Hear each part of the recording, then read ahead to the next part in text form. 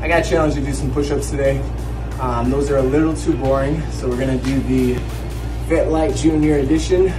Uh, we're gonna start off in a plank, deactivate one of four lights. I have two in the front, two in the back. Come up to a high plank, do the push-up, and then back down to a low plank to deactivate the next light. Uh, I need to get at least 10 push-ups, and the time is 30 seconds. See how I do in three, two, and uh, let's work.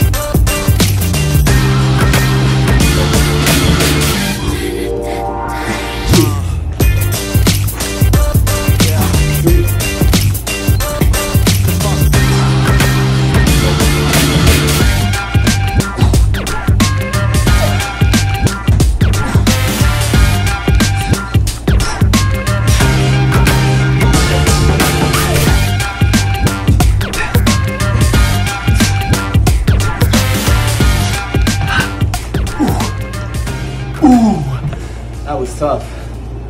I got 10 hits. So I guess that means I got 10 push-ups. Just made it.